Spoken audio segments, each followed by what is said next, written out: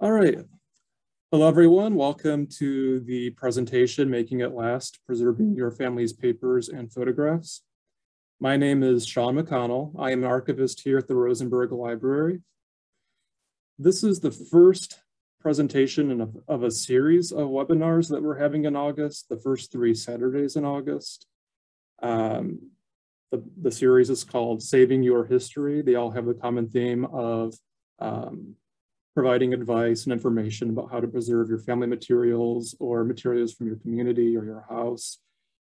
Uh, next week, next Saturday at 11 o'clock, Jamie Durham is giving a presentation about house research and preservation. Jamie works at the Galveston Historical Foundation. She's done a ton of research here. Uh, she's going to be talking about how to research a historical home or property.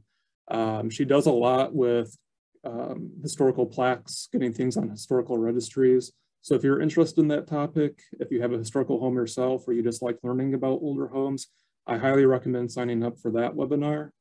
And then two weeks from now, on Saturday, the 21st at 11 o'clock, Sharon Gillens of the Moody Foundation is going to be giving a webinar about how your history matters, specifically your community's history. So while I'm talking about the individual family materials you'll have, she'll be talking about um, church archives or neighborhood archives or archives from um, different groups that have been underrepresented in the historical record, such as African Americans or Hispanic Americans. Sharon um, was a professor, she's a genealogist, she's given presentations in the past.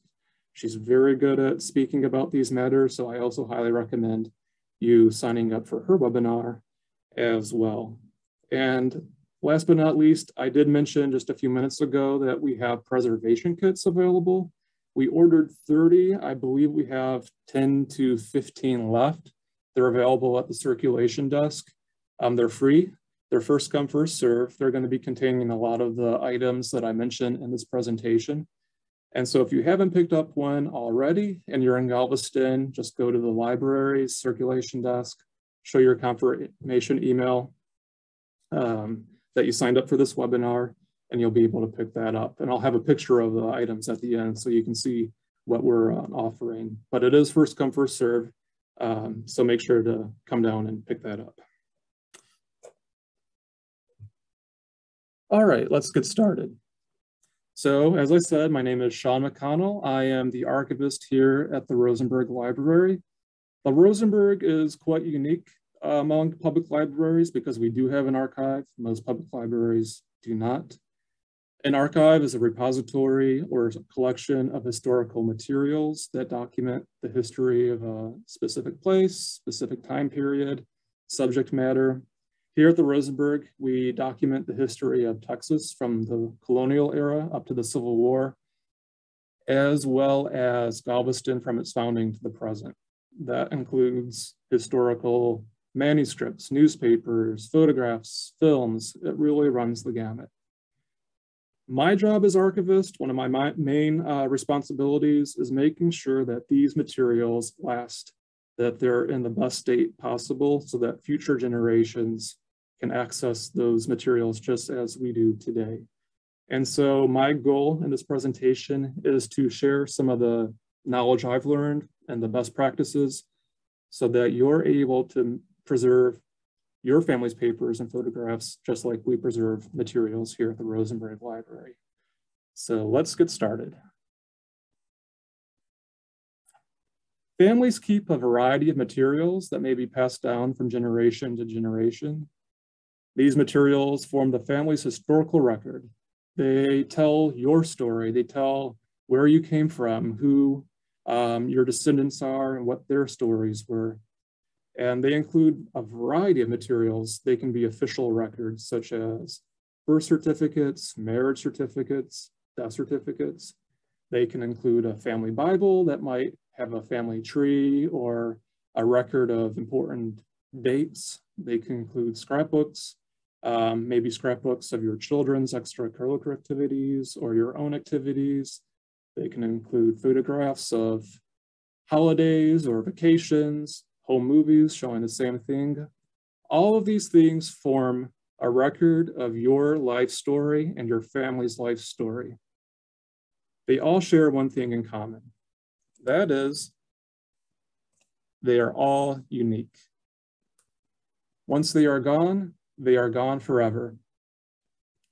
This is why archives differ from libraries. In a library, you have published materials. For example, if you lost your copy of a Danielle Steel novel or a Charles Dickens novel, you can probably find a copy of it at the Texas City Library or the Houston Public Library. But with archives, with these unique materials, once they're gone, they're gone forever. So if you lose your grandmother's letters from the 1930s, you're not going to be able to go to a different archive or a different library and find those same things. That's why it's very important that we preserve these materials so that they last as long as possible. And you can learn how to easily handle and store all types of media, from paper to photographs. And you can stop this from happening. I included this photo of film that's in a really bad state, and I'll touch on that later on. But first I wanna start with paper.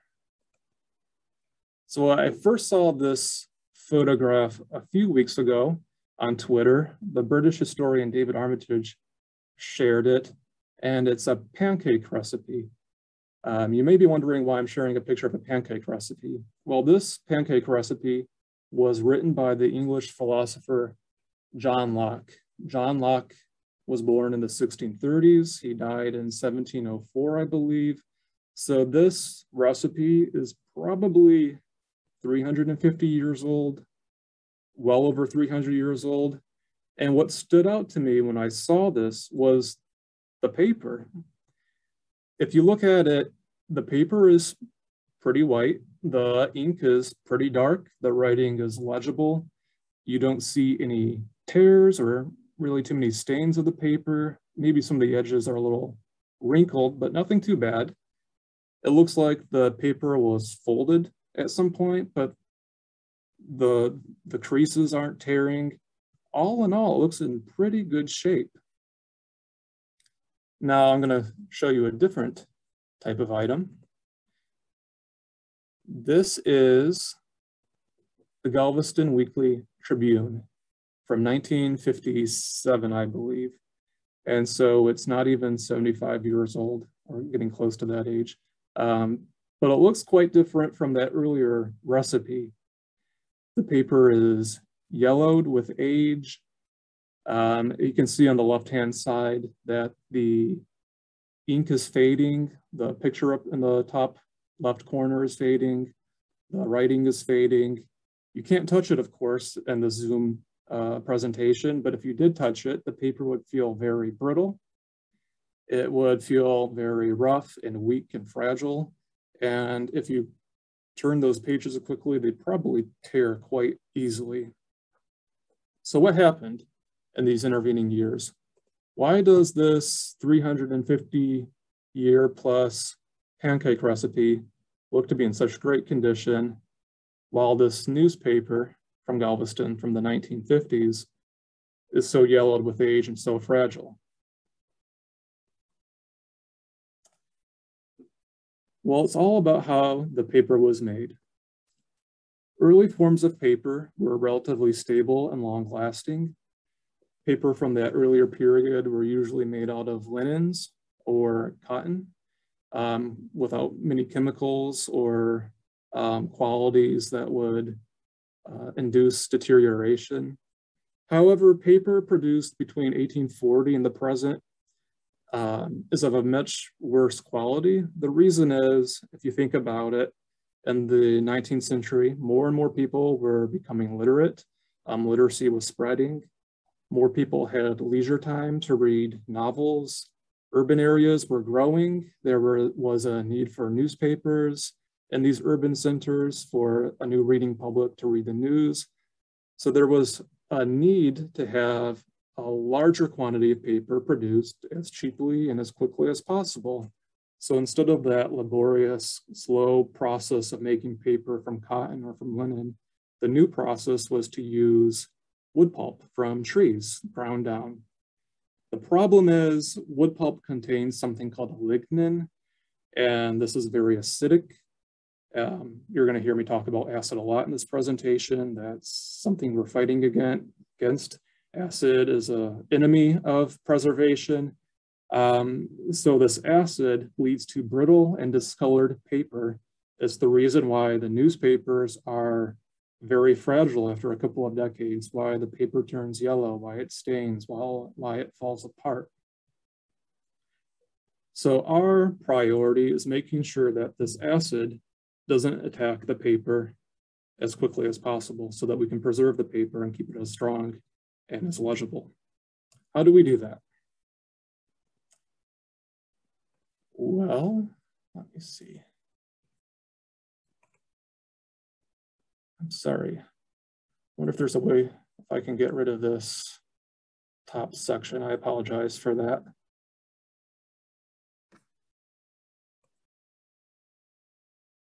Okay. So heat and humidity are two enemies of paper. And these are two things that we know a lot about in Galveston, especially in this month of August. It's very hot and it's very humid. Unfortunately, these two things really are problematic for preservation. The higher the temperature, the quicker chemical reactions occur. I've read for every 18 degree increase in temperature, the rate of a chemical reaction doubles. Also, high humidity levels spur chemical reactions. These chemical reactions are what cause paper to deteriorate and change colors. Also, as we know in Galveston, heat and humidity work together to provide the perfect environment for pests and mold. Um, I included a picture of silverfish. I see a lot of these in my bathroom. Um, upsetting, silverfish love to feast on paper, especially damp paper. Um, also, if you've had mold in your living space, you know that can stain things. It can spread very easily. Um, so these are things that we want to guard against. Well, how do we do that?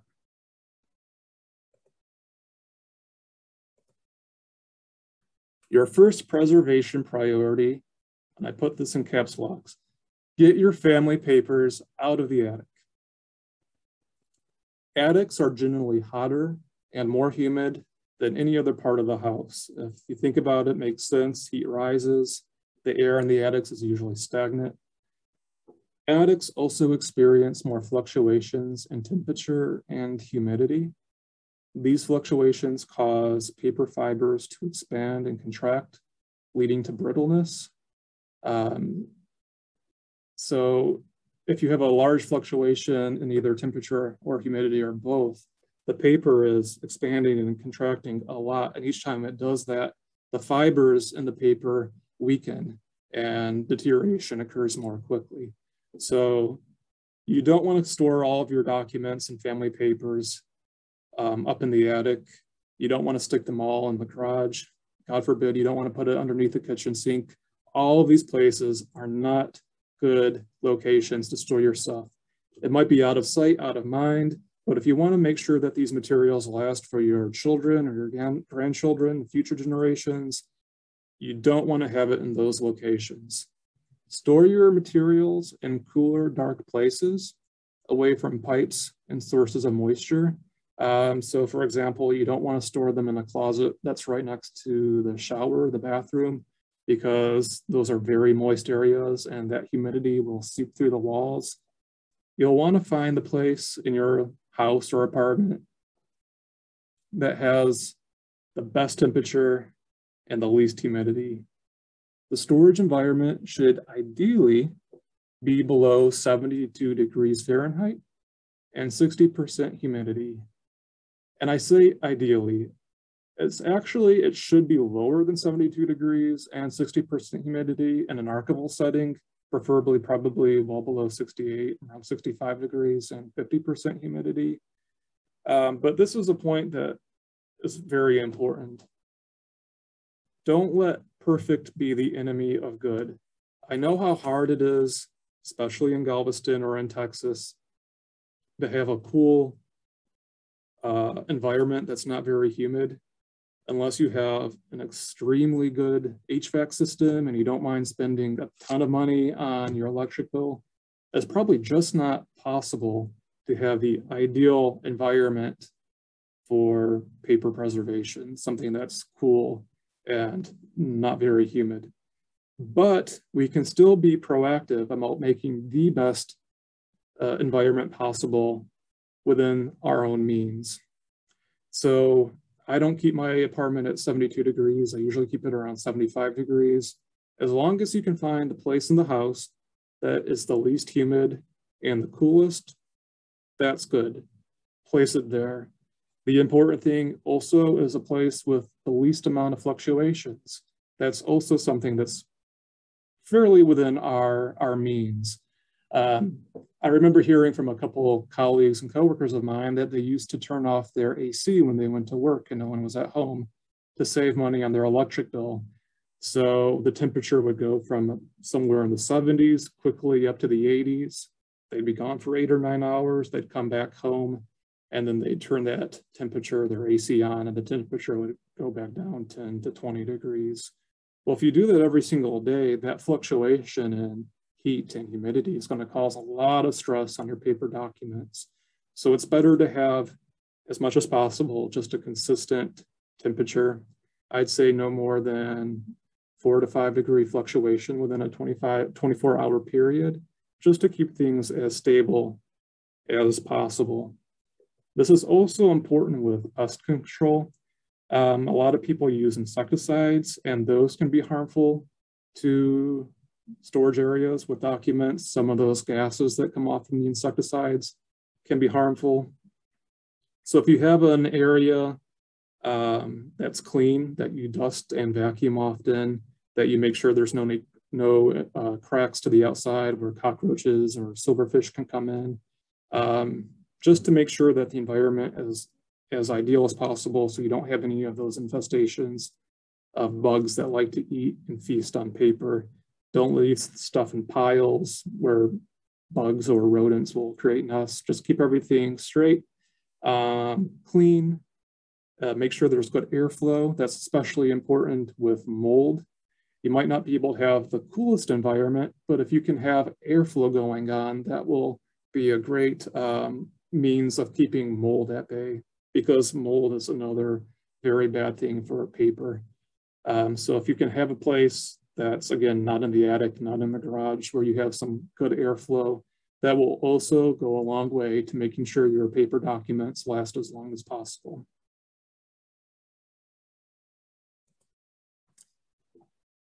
So storage. Um, part of the kit is a document box that's acid-free. I included a little drawing of one. I recommend putting your paper documents in these acid-free document boxes or in acid-free folders.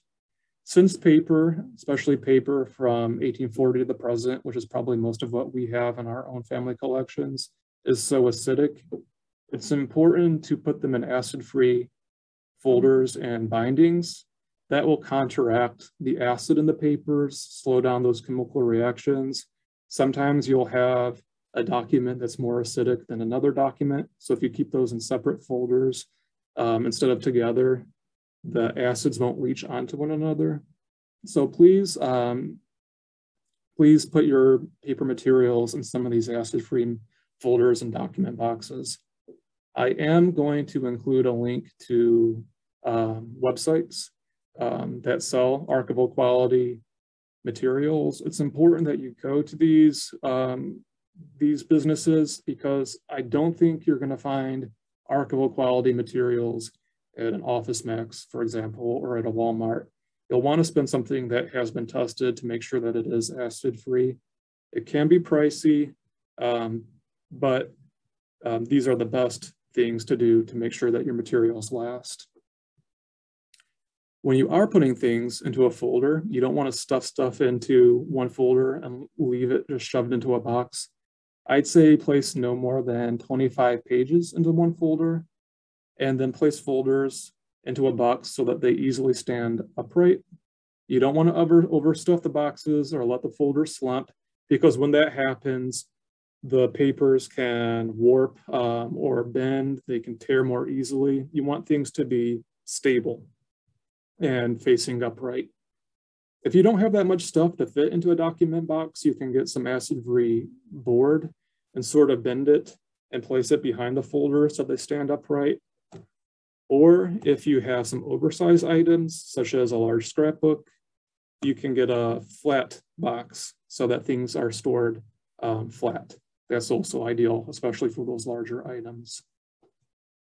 Before you do that though, before you stuff, put, excuse me, put things into a folder and put it on a shelf, make sure that you go through all of your documents and receive anything that can rust, such as staples and paper clips, um, without tearing the paper. Believe me, they will rust. You might not think that um, the paper clip holding some letters together is that problematic, but a lot of the stuff that's brought into the archivist donations have rust on them. I included a photo from the Duke University libraries. This is what will happen over time, especially when you're living in a humid environment.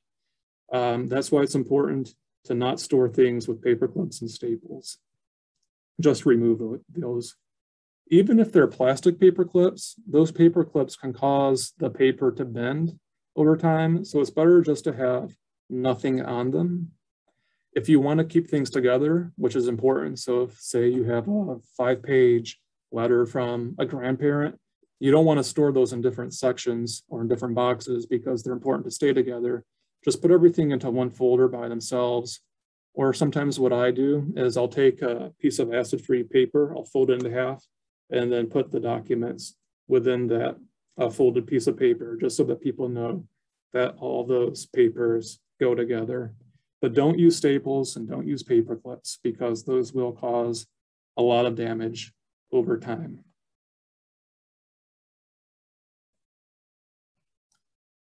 Consider making photocopies of newspaper clippings on acid-free paper. Newspaper clippings are probably the worst offenders. Um, they're highly acidic. It makes sense. Um, newspapers are mass produced. They're for a large audience. So more than anything else, people want to use some low quality, cheap paper for newspapers that contain great information. They have a ton of great content, but the paper is very cheap and acidic. So it's best to make photocopies of those. Even better yet is to make scans of them. Scans are usually of a better quality. I've seen some presentations from archivists who say just make photocopies and throw away the originals. Um, I'm of a different philosophy. I think it's better to keep the originals of everything. I'll touch on this more later on when I cover digitization, but the more copies you have, um, the better off you are because you never know if a copy will be lost or lost into a flood. Um, sometimes photocopies look worse than, than the original, so make copies, but don't throw anything away if you have space to keep things. The reason also why I say that it's better to make scans of things is because, and this isn't something that I put on the slide, but it's also very important. Light damages paper and photographs. So the light from a photocopy machine is pretty strong. Each time you photocopy something, the paper or the photograph is damaged. Um, this is true of sunlight as well. Those UV rays are very, very damaging to paper and photographs. And it's cumulative and it's irreversible. So you might have a a diploma, for example, framed and on your wall facing the west side, um, a large window with the setting sun coming in and the sun beats down on it every evening. After a year, it might look fine. You might not see any uh, anything wrong with it. However, little by little, that sunlight or the light from a, a, a bulb is causing damage to the paper and it's accumulating over time. And then after a year, after a couple of years, the ink is fading, the paper is becoming more brittle, it's becoming discolored. So try as much as possible to keep things away from sunlight and try to photocopy things as sparingly as possible. Um, if you really want to have your family photos or paper mementos on display for other family members or friends to see, I would rotate them, you know, have some family photos out for a couple of months and then get some other family photos and then put the other ones back into a acid-free box and put them in a area that's low in temperature and humidity. um, or preferably just have them in a dark area um, permanently because if you put things on display, that light damage will accumulate and it is irreversible. So that is important. Also, this, uh, excuse me, this surprised me when I first learned about it, but wood is very damaging to materials as well. I think wooden furniture looks really nice. Wooden cabinets are very attractive furniture pieces, but wood is highly acidic. Um, makes sense if the paper being made from trees is highly acidic today, well, the wood is highly acidic. And some trees, some types of wood are worse offenders than others. Um, nice oak cabinet, oak is really bad. Um, I think walnut wood might be the least damaging to materials, but all wood will release gases that damage your paper or photographs. Also cabinetry usually contains adhesives. Those offset gases. Um, all that is damaging. So again, it's better to put all of your family documents into acid-free folders and acid-free document boxes and not into a wooden filing cabinet. If you do want to have things in a cabinet, it's probably best to have a powder coated stainless steel um, filing cabinet. Just don't use wood, don't store things into a wooden chest. Over time, that will lead to damage. Excuse me.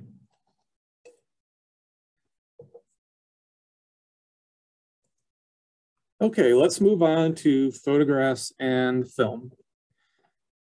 Photographs and film need the same environment as papers, um, generally speaking, as in not very hot, not very humid. They actually need a colder environment and a less humid environment than paper. Um, ideally, the temperature should not exceed 68 degrees or 60% humidity. Again, Ideally for an archival setting, it should be colder than that, especially for color photographs. Those should be in cold storage. But this is what we can do um, within our own means. Again, if you don't have a state-of-the-art HVAC system and don't mind spending a ton of money on an electric bill, um, you can't have this cold storage for photographs and film. However, you can do things within your means that's proactive and really slows down these damaging processes. So photographs should be stored in, stored in cool areas that are not very humid. Um, on the other hand, humidity should not drop below 30%. Um, this is probably not a problem in Galveston or throughout the Southeast, but if you live in a desert environment that gets extremely dry, something to consider the emulsion, the part of the photograph that contains the image, that can dry out and crack. So you want to have a storage area that's not too dry, but not too humid. And as I said about light, especially with photographs, you don't want to have photographs on display where there's a lot of ultraviolet light. This light will cause deterioration and it will cause the photographs to fade especially color photographs, but all color photograph, or excuse me, all photographs are really susceptible to fading and damage from ultraviolet light. Many photographs and negatives have a tendency to curl, so store photographs in archival quality enclosures and place in boxes that are not overly stuffed. I mentioned this with papers, equally true with photographs, uh, especially negatives. I've noticed negatives um, are really susceptible to curling. So you want to have them stored either upright, straight, or uh, flat and horizontal, um, because those photographs and negatives will really curl over time if you have them slumped. Photographs and film may require similar environments as paper, but they also have unique needs. There are a variety, or is a variety of photographic media with different preservation concerns. There's been a ton of different photographic processes over the past couple hundred years with different um, materials used. So some of these have different preservation needs, and I'll go through some of the ones that you might find in your own family collection. Many 19th century photographs are albumen or gelatin printing out papers. I included one from our collection that's an albumen picture. Um, you might know it as a carte de visite because they're these little photographs on cards that people would hand out to their friends. Um, sometimes later on in the 19th century, you might have larger ones that are called a cabinet card. They're called albumen because it's made out of egg white. Albumen is another name for egg white. They mixed the egg white with some other chemicals, put it onto a base, and then took the photograph. Um, the reason why they're often placed onto these carte de visite um, or cabinet cardboards is because they have a really strong tendency to curl. Um, so if you do happen to have one of these photographs that aren't on a board um, already, I recommend enclosing them between um, two pieces of alkaline buffered board. Just put them between, maybe wrap them up, not too tight, um, but enough so that they don't shift, and that will keep them flat. And this is an important thing too. I say alkaline buffered board. So there are two different types of acid-free products, acid-free folders and boxes and so on. There's buffered and then there's unbuffered. Unbuffered means, for example, that the folder has no acid. So it's on the pH scale, scale it's pretty high. Um, if it's buffered, however, it has an added alkaline element usually calcium carbonate, I believe, added to it. So it provides extra strength against acids because acids from the papers will migrate um, to the other pieces of paper over time. So if you have papers in an acid-free folder, the acids from the papers will migrate to those folders, making them acidic as time goes on. If a folder is buffered with that alkaline, that process is going to be much more slow um, and there'll be added protection. However, even though most items, most papers and photographs will benefit from that buffering, there are some materials that are not um, ideal, that should not be placed in buffered folders or between buffered boards. I'll describe those shortly. Um, they would benefit from just unbuffered materials. One of those is something called a cyanotype. You may have these in your family collection. They're not as common um, as the carte de visite that I showed you. I read a statistic that 80% of photographs from the 19th century that have survived are those albumen or gelatin printing out paper photographs. But I've seen quite a few of these cyanotypes. The one that I've included in this presentation is one from our own collection. And you know it's a cyanotype if it has that really brilliant blue color. They were first created in 1842, but they became popular in the late 1800s. The thing about cyanotypes are that they are susceptible to abrasion. So they should be carefully handled while wearing gloves free of any scratchy particles. And this is something that I wanna bring up too. Um, a lot of times when people come up to the archive, they're excited to wear gloves. And sometimes they see us not wearing gloves and they want to know what's going on. Well, we provide cotton gloves when handling photographs because there are always oils on your hand. And those oils, when you touch the photographs, will damage them. So it's really important when you're handling photographs to make sure that you have clean cotton gloves on. Make sure they're clean because they get dirty really easily. Um, and if you're handling a cyanotype, especially make sure that they don't have any scratching particles on them. People in the past, archivists in the past, would wear gloves also when handling paper documents. A lot, a lot of archivists have moved past this practice when handling paper because um, paper becomes very brittle and sometimes that cotton in the gloves will latch onto the paper particles and cause tears. Um, it's harder to tear pages, for example, in a newspaper volume when you have cotton gloves on.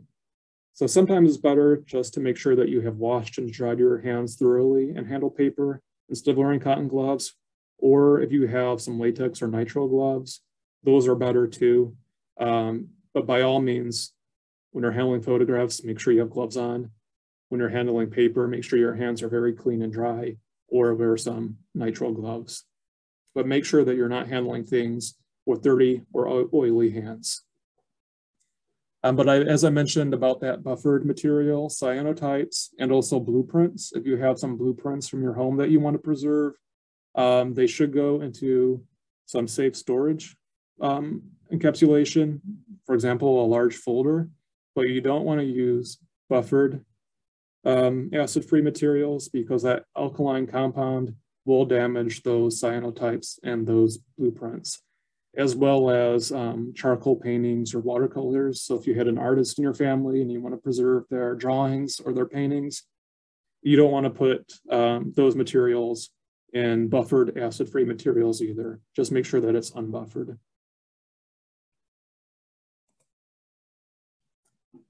Many black and white photographs from the late 1800s to the present are gelatin developing out paper prints. This is different from gelatin printing out paper. These are gelatin developing out paper. And this is, from my own experience, the bulk of what I find um, from the 20th century, from the 1920s through the 1970s or so. Develop, excuse me, gelatin developing out paper prints do not fade and deteriorate as quickly as albumen or POP prints, but they do contain silver particles and pollution, heat, and humidity cause these silver particles to oxidize. And you might have some photographs in your own personal collections that start looking very shiny, as you can see in the picture that I included, especially around the edges, it looks very silver silvery, if that's a word, silver-like. Um, that will happen with high heat, humidity, and pollution. Um, so you want to keep these gelatin DOP prints in a very cool environment with low humidity to help slow this process.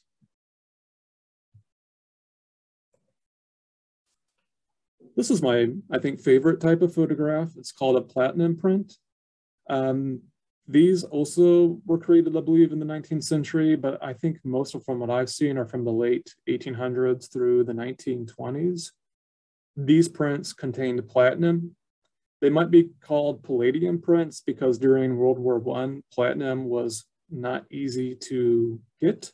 It was used for other, um, other things during the war. So people switched to something called palladium, I believe. I'm, I'll be honest, I'm not exactly sure what that is um, but they look quite the same. I like them because um, they have this really rich color scheme. They're usually a warm uh, color. They have a lot of tonal um, uh, differentiation. In my experience, they don't deteriorate that much, so they don't have as much as the fading or the oxidation that you see from the gelatin developing out paper prints or the albumen prints or the cyanotypes they they look really clear, have a lot of nice detail. However, what's really interesting about these prints is that they cause something called image transfer, and I'll show you an example shortly. Um, what that happens means is if you have the print stored against something else, over time, the image will transfer onto the other item. So they shouldn't be stored with other materials um, they should be kept away from natural light, like all other photographic or paper documents, um, just so that they're preserved as long as possible. If you do want to include multiple prints into one folder, for example, I suggest taking a piece of acid-free paper and interweaving between just so that image transfer doesn't happen. I'll show you an example right now. This is from our collection. This is a photograph of James Stubbs we received multiple copies of the same photograph, probably 100 years ago, and they were stored together. Well, over time, the image on the right leached onto the board on top of it. As you can see on the left-hand side, it looks like almost a photocopy or a ghostly reproduction on that, on that photographic base. So this is really important if you have a, a letter from your great grandfather together with a platinum print of him, that photograph will transfer onto the letter. So you want to make sure that they're either stored separately or that there's a piece of acid-free paper interweaved between them so that this image transfer does not happen. Let's get to negatives. So cellulose, cellulose nitrate film was invented in 1887, And this type of film comprises most of the early negative film stock. Filmmakers and photographers used cellulose nitrate until the late 1940s and early 1950s. I believe it stopped being produced in 1951. Um, so anything after that, it's probably not cellulose nitrate, um, but especially those early negatives from the 1900s, 19 teens, 1920s, they're likely nitrate. Unfortunately, these nitrate negatives emit nitrogen dioxide as it deteriorates.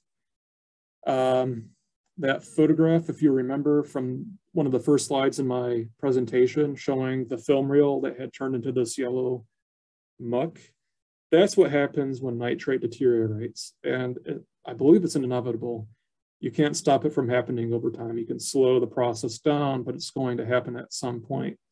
Um, it will turn into uh, this yellow type of guck. Also, unfortunately, cellulose nitrate is highly flammable and unstable. So if you do have nitrate, you can't throw it into your garbage can and put it out in the curb because it is considered a toxic hazardous waste. You'll want to contact your local hazardous waste, hazardous waste agency to see how you can dispose of it. The other thing about nitrate, um, it is highly flammable. It also is self-combustible. So there is always a chance that it could self-combust. I wouldn't be too concerned about that if you have it in your own family collection, because I think it has to be in a really large quantity in a really hot environment. So for example, um, I believe fires had started in some old warehouse in Southern California where they had old film reels from the from the silent era in an un, um, an environment that didn't have any um, HVAC system. Um, I think for the most part, if you just have a few uh, negatives and it's in a pretty cool environment. You shouldn't be too concerned about that. But I do suggest digitizing those as quickly as possible because they will deteriorate. And sometimes um, it's harder to tell if it's nitrate or something else. Sometimes on the edges of these negatives, it will say nitrate or it will say safety film. Safety film is something that was created later. Um, safety film is another name for cellulose acetate film. This was created in 1937. And this is what you see a lot afterwards throughout the 20th century. Um, it's called safety film because it's not as hazardous as cellulose nitrate. It's not as flammable, it's not prone to self-combustion, but it is still prone to deterioration, particularly something called vinegar syndrome. Um, over time, the negatives will start to curl and deteriorate, and they'll emit this odor that smells just like vinegar, um, except it's even stronger and it will make your nostrils burn. So if you do have a lot of negatives and you start smelling that vinegar, I highly recommend going through them, determine which ones are giving off that odor, and then separate those negatives from the rest of the collection because the odors, excuse me, the gases um, from those deteriorating negatives will cause the other surrounding materials deteriorate much more quickly as well. So periodically go through your family materials. Um, good practice anyhow to make sure there's no insect infestation or mold, but also to make sure if you have these negatives that they don't have this vinegar syndrome because you'll want to separate them from everything else so that the deterioration doesn't spread. I included this picture. I think I pulled that from the internet, but you can see that the emulsion is beginning to bubble up. It has the spider web quality to it. Um, that's what happens when these negatives start to deteriorate. Uh, let me go back. Um, oops, sorry. For photographs and negatives, ideally, it should be in cold storage, so refrigerated um, environment, something that's extra cold. Not your refrigerator in your kitchen. Those are probably way too humid. Um, if you do have a large, valuable, either monetary or sentimental, um, valuable uh, negative collection, um, and you have the resources to spend on an archival quality cold storage unit, I do recommend that because that will slow down the deterioration, but negatives should have a colder environment than your paper documents, for example. But again, don't let perfect be the enemy of good. Do what you can within your means to slow down these um, deteriorated deterioration processes.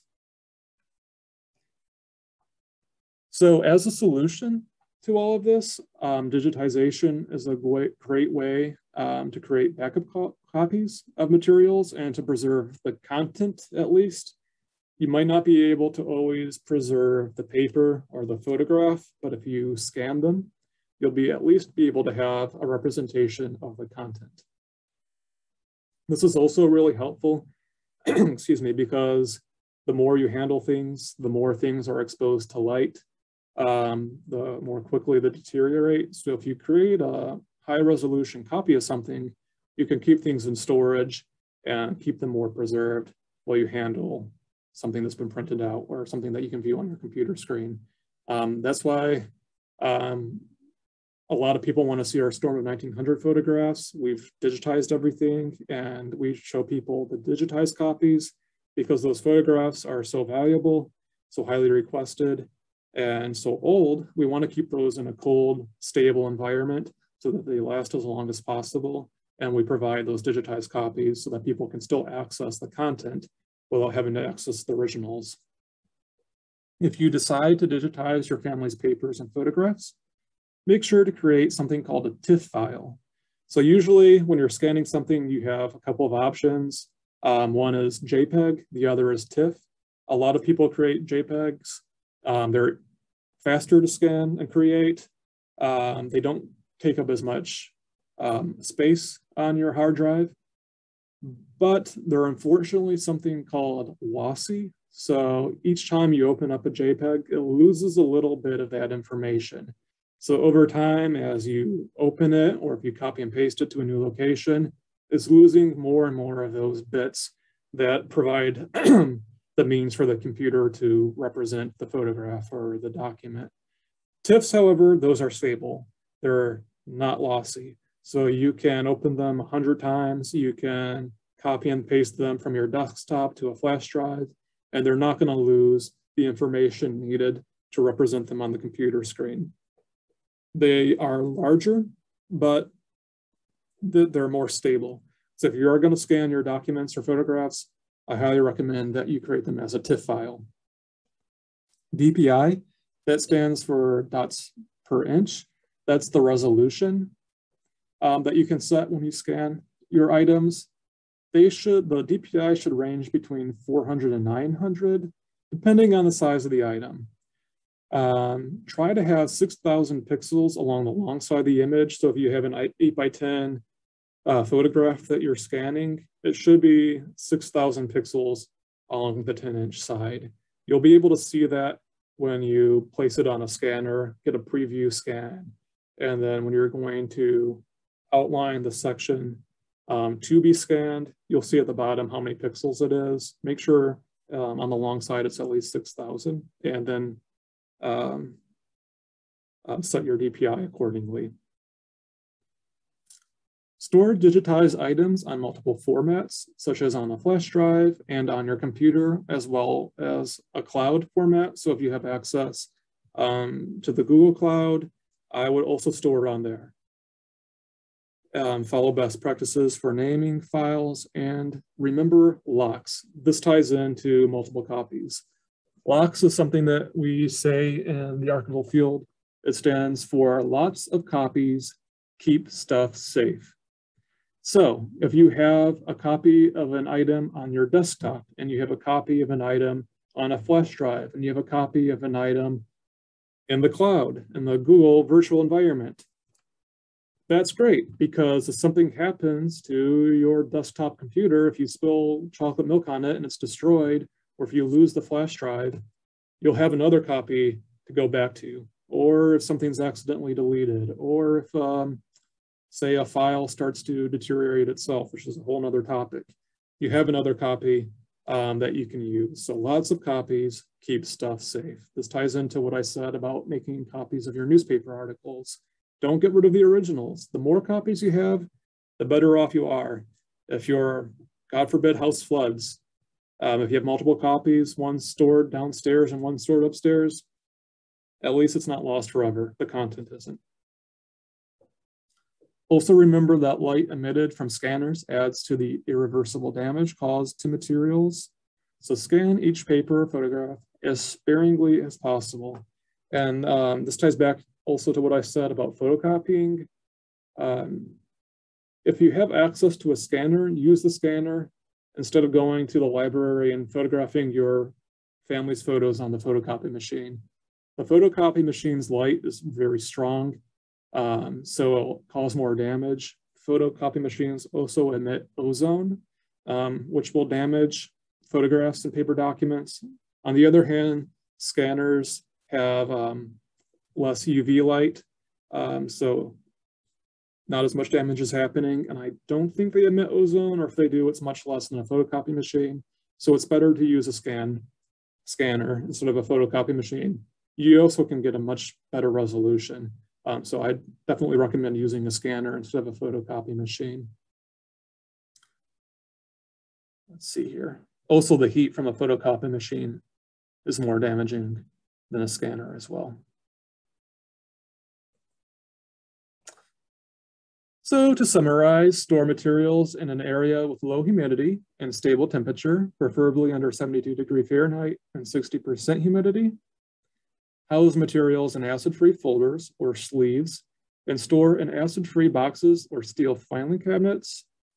Make sure storage area is free from dirt, dust, and insect infestations so don't put things in a big pile and just throw it on the floor. Keep it organized, keep it stored um, upright or flat so that they're not slouched. Um, keep things dusted, make sure that there's no cockroaches or silverfish feasting on your precious family documents. Um, make sure there's no mold growing. Um, keep things well vacuumed, crumbs free. Um, another thing that I want to point out too is if you do use household cleaners, those can be damaging to your materials as well, especially if they have ammonia.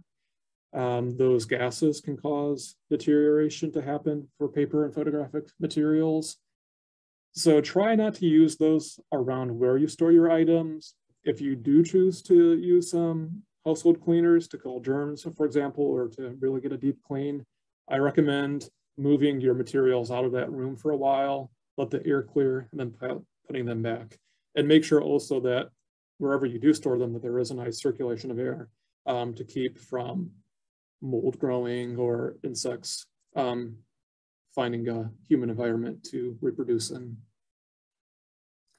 Keep materials away from light sources for long periods of time. Um, don't hang them up on the wall where the sun's beating down.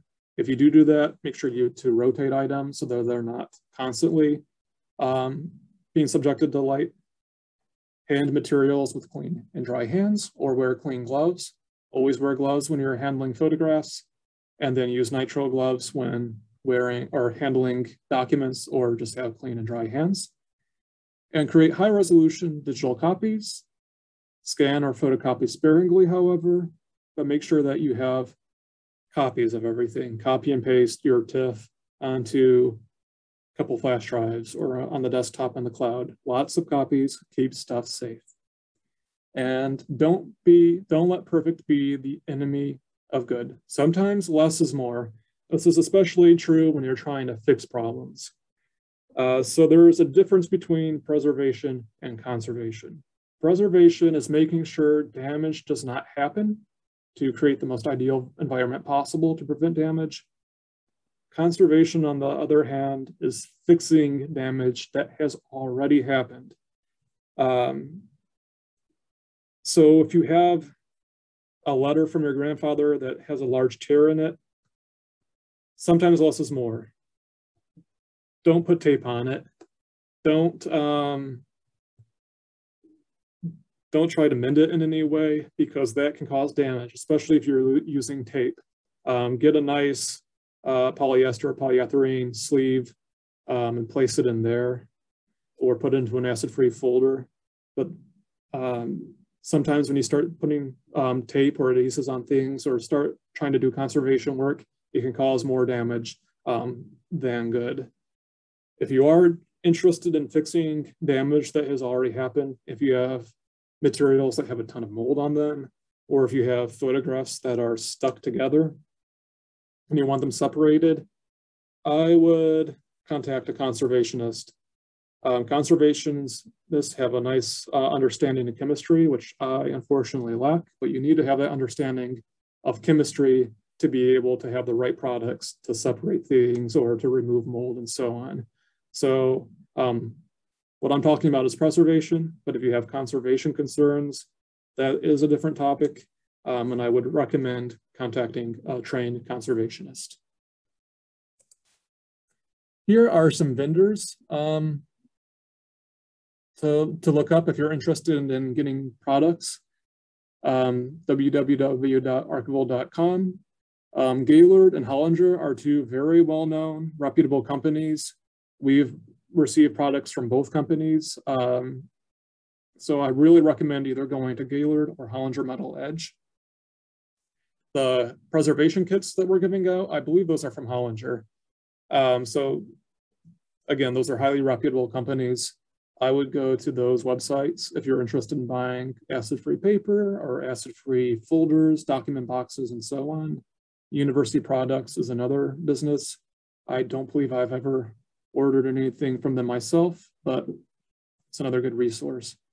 If you have any questions, the Northeast Document Conservation Center, again, for conservation as well, they are the best in the business. They're located in Andover, Massachusetts. We're actually um, partnered with them right now. We sent most of our oral history cassette tapes up there to be digitized. They are leaders in the field. So if you go to their website, I'm going to pull it up shortly, but www.nedcc.org, they have a wealth of information on preservation and conservation. Here is a picture of the archival kits that I mentioned. Um, some of you have picked them up, but some of you haven't because we have quite a few left. I think we have 10 to 15 left. Um, they include a document box that's acid-free, the little binder that's upright on the table, that's um, a photo album, and there's some plastic sleeves that are um, tested to not give off um, gases. So you can put your photographs in those plastic sleeves and then place them into the binder. Um, include those white gloves that are really helpful to wear when you're handling photographs. Also has some pencils. Again, I didn't mention this before, but it's important if you're taking notes, always use a pencil. Ink will transfer through the back of a photograph, um, or if you're using ink to write down notes and you write down something on your great grandparents' birth certificate or something like that, it's extremely hard to get ink off without damaging the original. So always, always, always use a pencil and write lightly because if you make a state, mistake, you can erase it. Um, and the, the pencil's not gonna cause anything to go through the paper or through the photograph. So yes, this, this item is available at the library, first come, first serve. Just show that you signed up for this webinar, show the confirmation email, um, or if you sign up for the presentation next week or the week after, you can show that as well. Um, show the person at the circulation desk and they'll be able to give you your preservation kit from Hollinger Metal Edge. Um, it's free, it's for yours to take, but it is first come, first serve. So once we run out, um, we've run out. I'm gonna go to my screen now. Let's see if I can get out of this.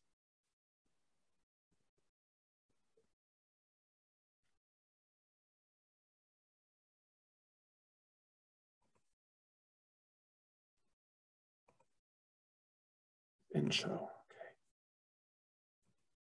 I wanted to show you some of the websites that I just mentioned. So this is Gaylord um, Archival products. This is where you can go and find all of your supplies if you're interested in buying some of the things that I mentioned today. This is the NEDCC website. At the top, if you go to preservation leaflets. This is where I am right now. They have all these little preservation topics. So if you want to learn more about the, these things that I've been talking about today, want to have more um, detailed in-depth information, this is the perfect resource. Um, so if you're interested in the environment, click on that. We'll have a ton of information about having the best environment possible.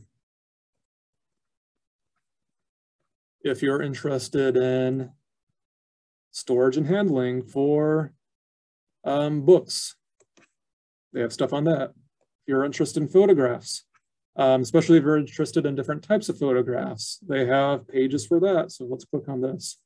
19th and early 20th century. They have examples of each um, with different types of information. So this is a really, really great resource for getting more information. And if you are interested in conservation as opposed to preservation, if you have materials um, that unfortunately do have damage already. There's something that the National Park Service has created called conservograms. I found these really useful in the past. Um, just Google National Park Service conservogram, you'll get to this page. And they have um, all these different leaflets about how to um, conserve things, excuse me, covering infestations, covering UV damage, archaeological objects, if you have anything of those in your family collection, um, wooden objects, leather and silk, so on. So this is much more detailed too. If you have any questions, I highly recommend taking a look at this. Some things you might be able to do on your own, um, but if you can't, if you're afraid of causing more damage, again, I highly recommend contacting a conservationist. We've sent stuff out to uh, a company in Houston. So that concludes what I have to say. Um, I think there are some questions, so let me go through those.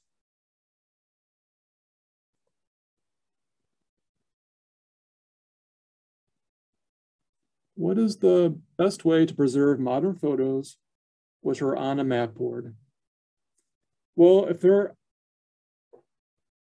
glued to the mat board, I recommend doing the least amount. Um, so don't try to separate anything from the board that might cause more damage. The board may be acidic. Um, that's possible, but if you can store something either in an acid-free folder um, or an acid-free um, uh, envelope, you could try that. That will counteract the acids in the board. Um, make sure to scan it. Um, scan it at a high resolution save it as a TIFF, save multiple copies and then make sure that those photographs aren't exposed to light, um, especially too often. If you want to see the photographs, look at the digital, digital copy um, or take out the original um, sparingly. Um, but don't try to separate it from the mat board. If you do want to do that though, contact a trained conservationist because they would probably have to do that for you. There's chemicals involved and so on. You wouldn't want to do that yourself um, is a scanner available at the library? We get this question a lot. We unfortunately scan, we ourselves can't scan things on other people's behalf. I believe there is a scanner, scanner available on the third floor, um, the computer lab. Correct me if I'm wrong, um, if any of my colleagues are listening right now. I think you can go to the third floor and scan materials that's available. Unfortunately, we can't do it for people, but I believe you can go to the computer lab. Yes, there is a scanner. Okay, thanks. Is it recommended to transfer old home movies, 40s to 50s to digital? Is there a danger that can be damaged, destroyed in the process? So this was a really good question. I don't have much experience with film, um, but let me show you a website. There is, um, there is something called the Texas Archive of the Moving Image. And they had an event here in 2016, I believe. Let me get this down. So they came to the library. Um, we collected home movies from the 40s, 50s, 60s, 70s, any period as long as it was of Texas, of a Texan family. And they digitized everything for free. So it was sent to Austin, I believe. They created digital copies. And then they sent back the original along with a, a DVD or a, or a flash drive containing the digital copy. they'll do it for free. I believe they still will, but they the, the catch is they need to be able to put it on their own website. So if you're okay with your family movies being digitized and placed on their website, um, they will do that for free, I believe, and then give you the original and the copy back. There was no um, harm done to to the film um, in the process. They were able, I believe, for the most part, just to be able to digitize everything, then hand everything back. So if you're interested in digitizing your your films, um, not your negatives of photographs, but your actual films, um, I, I recommend contacting the Texas Archive of the Moving Image. Let's see.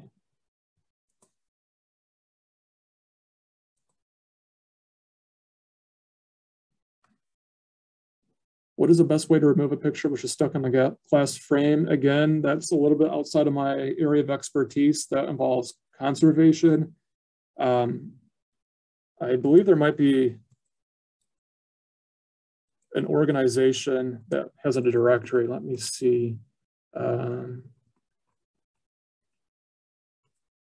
let's try a museum.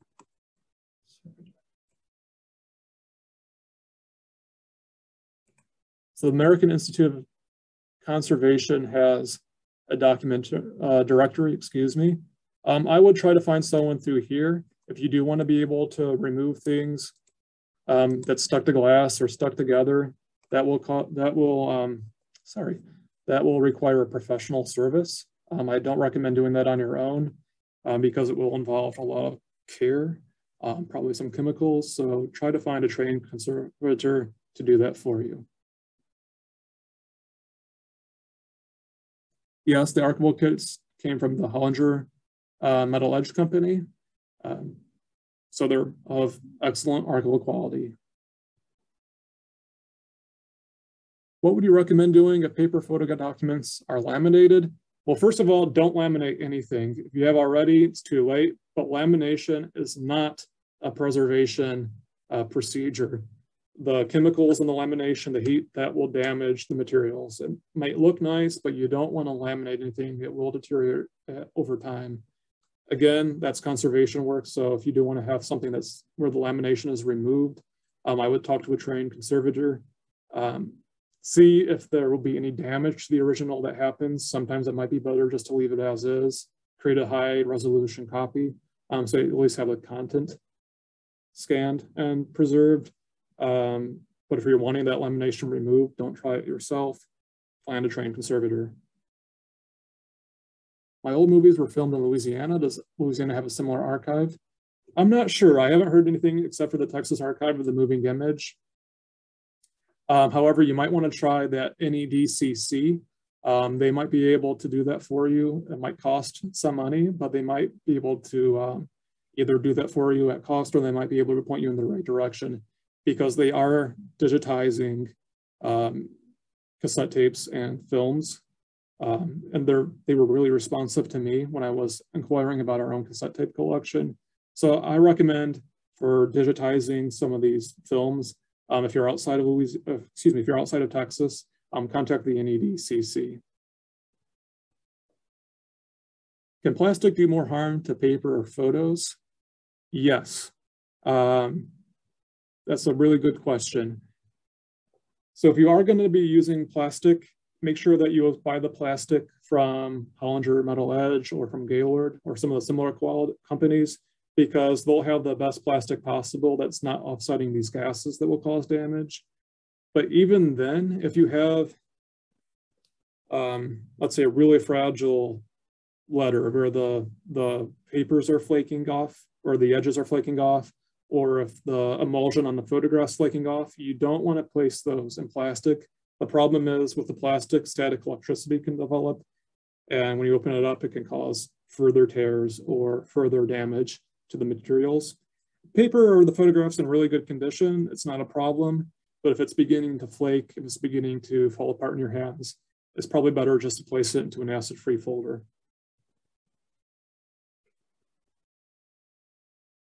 Um, I don't have a PDF prepared myself for anybody, but if you go to the NEDC website, NEDCC website, or if you go to the National Park Service website, Um, they have a ton of information, a lot of what I've said today that you can print out. Um, also, if you are in Galveston and you come and pick up one of those kits, those have a handout as well that contains a lot of this information that I've talked about today. Um, so if you're in the area, make sure you get to the library and pick up that kit because it will have a, a, handout. But if not, go to one of those websites and print out a conservagram or one of those preservation sheets um, that will contain a lot of useful information.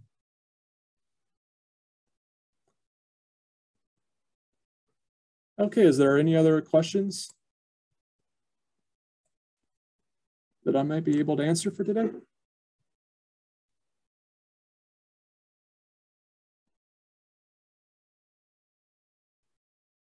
I'm not seeing anything, but I'm going to put our department email um, one more time.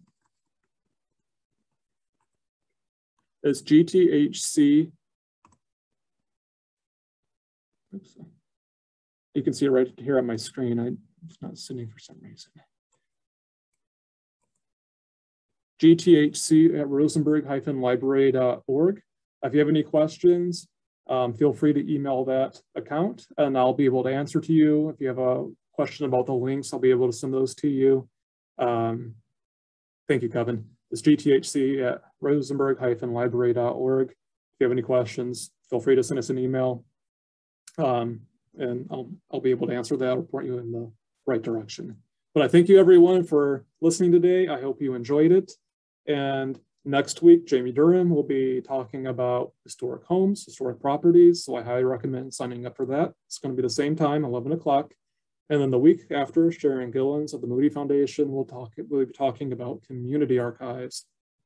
As I said, um, there's only so much we can do in our home environment, but archives, such as our own, um, can do a lot more because we have the means to have things um, in cold storage with adequate humidity levels and so on. So she's going to focus on um, saving your community stories, community history, and the importance of placing things in archives um, so that these materials are saved for future generations and accessible to future generations so that people can learn about the past. So thank you so much. And you all have a wonderful day. Thank you.